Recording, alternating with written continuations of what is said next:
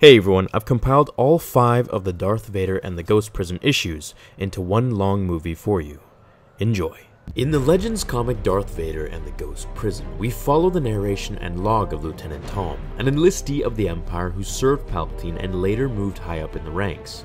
Our story covers his mission to save Palpatine as he joins Vader after a terrorist attack that was unleashed. Sidious and over 70 clone troopers, stormtroopers, Royal Red Guards, and Imperial officers were all poisoned by a deadly gas called Aorth 6, a biologically engineered necrotic virus.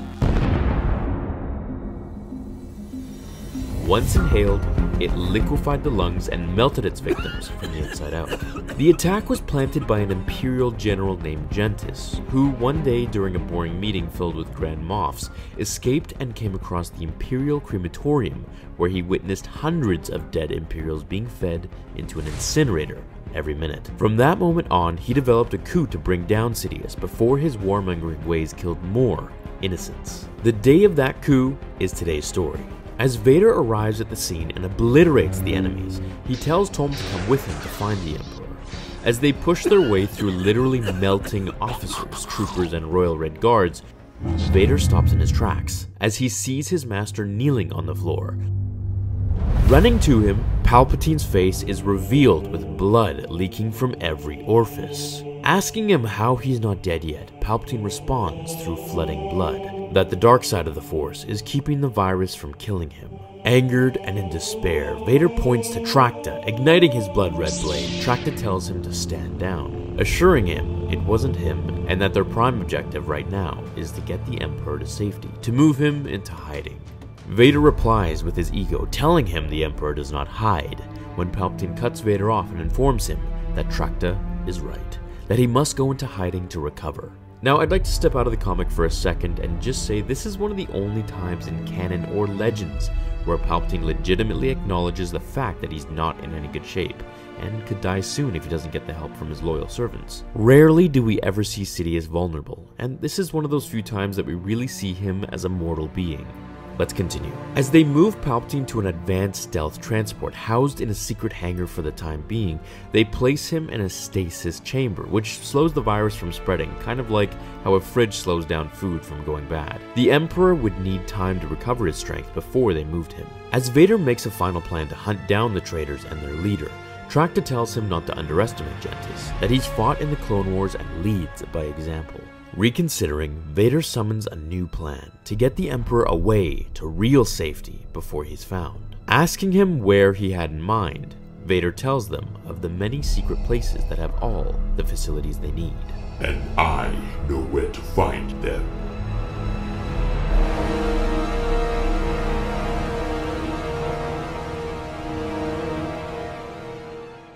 As Vader and Tom walk into the abandoned Jedi Temple on Coruscant, Tom recognizes just how quiet and eerie it is.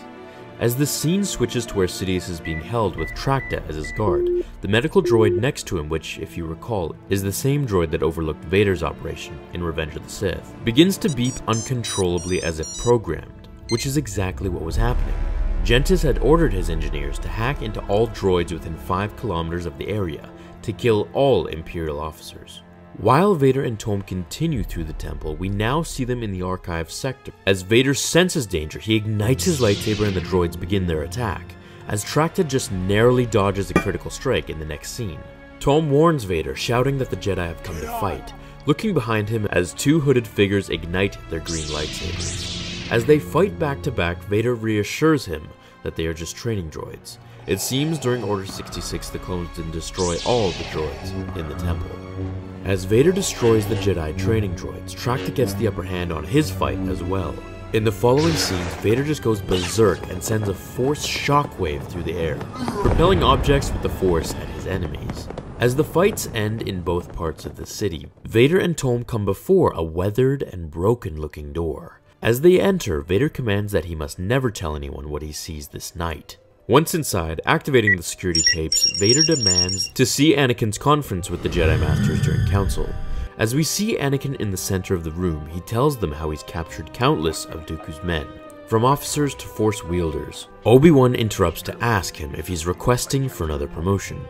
As Anakin refuses these claims, he simply asks the council why all the men he's captured and defeated end up disappearing once he hands them over. Raising his voice, Anakin demands to know the truth, telling them he needs to know what happened to his prisoners of war. As Master Windu answers, he basically tells Anakin that he's making things up and that he's overstepped his authority. Telling them that it's not fair, Obi-Wan interrupts, explaining to Anakin that he's touched a nerve and to move on. Threatening the council that he'll go to Palpatine and ask what really is going on, he storms out, leaving the Masters to discuss amongst each other. As Mace Windu tells them to let him go to Palpatine, that this is the one secret that not even Palpatine knew. Heck, the Senators and the rest of the galaxy didn't know.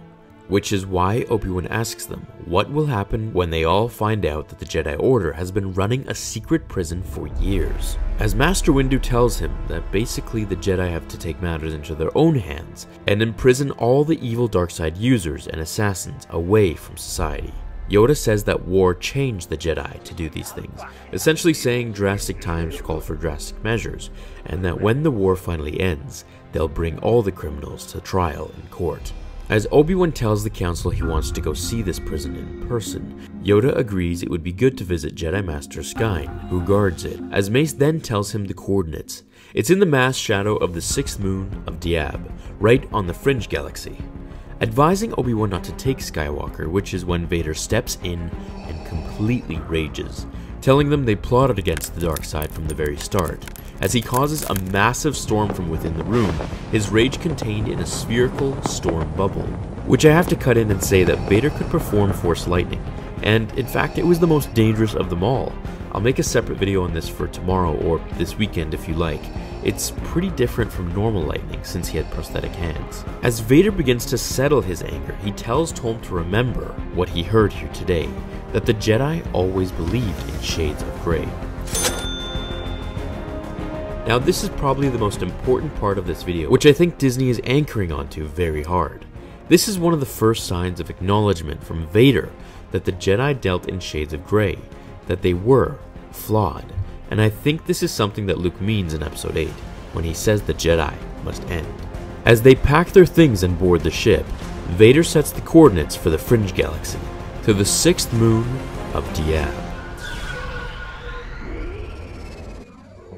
Vader granted permission to set the prisoners free. The original idea was to give the prisoners the chance of freedom if they helped the Empire. However, Vader wanted to test them and let only the survivors to join the ranks. The first several pages consist of Tom, Trachta, and Vader fighting the prisoners that Anakin locked up in the Clone Wars, explaining the specialties of some and the loyalties of others, such as General Ur-Loch, one of Dooku's enforcers that Anakin captured. He would use his tongue to draw enemies in then bite their heads off with his many teeth. As Tom was about to be killed, his blaster flies out of his hand and into the control of Captain Sean Volta, a dark side user who was captured by Kit Fisto and Anakin.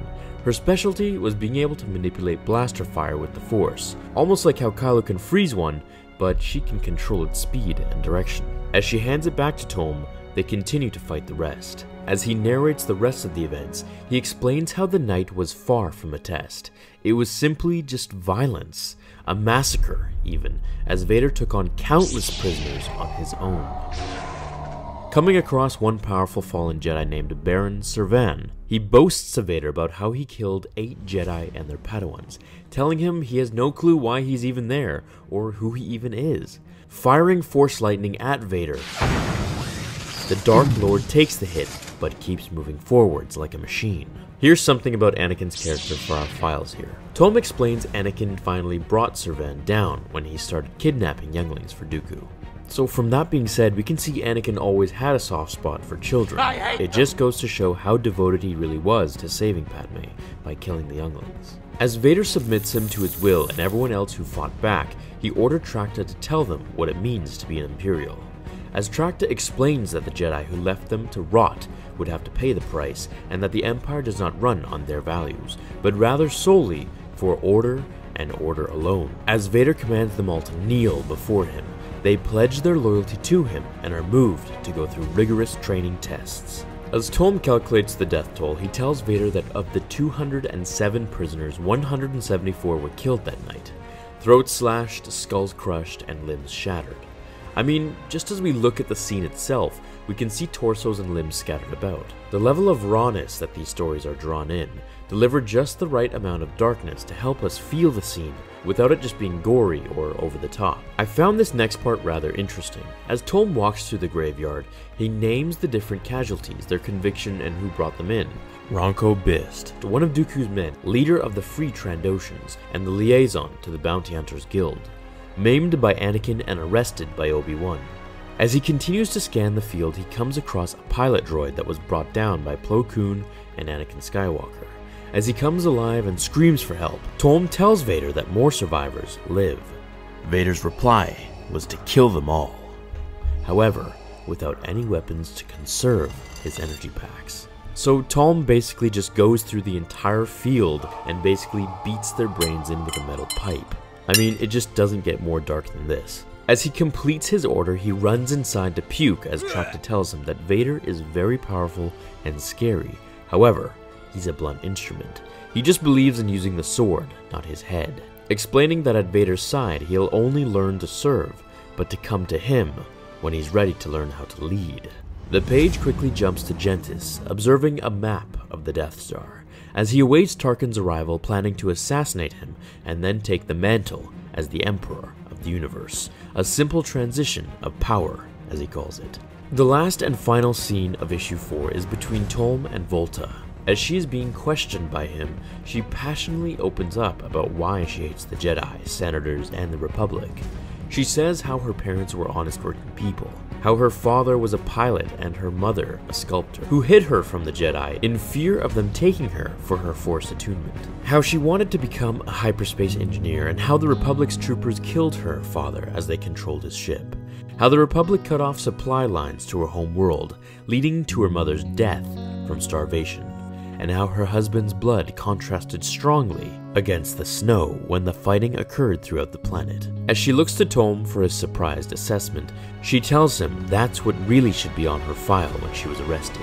Instead, the Republic just writes what they want to brand people with, instead of the facts. As he turns to her to ask if she really does know how to track a ship coming out of hyperspace, confirming with question, Tom looks at her with compassionate and determined eyes telling her, We have a ship to catch.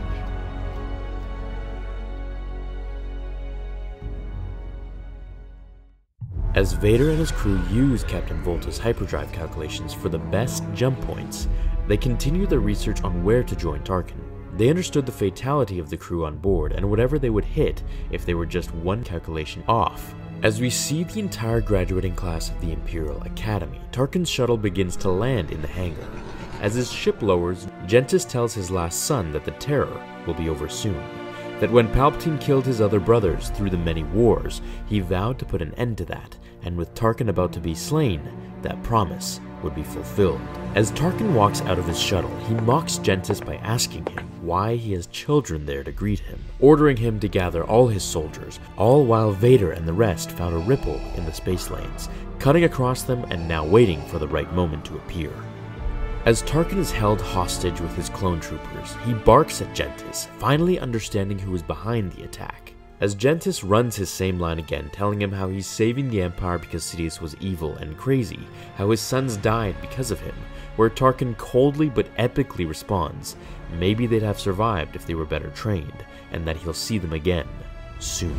With a sudden loud blast and a flash of lights, Vader and his men crashed the scene. His lightsaber ignited deflecting bolts while the rest walked out, guns blazing.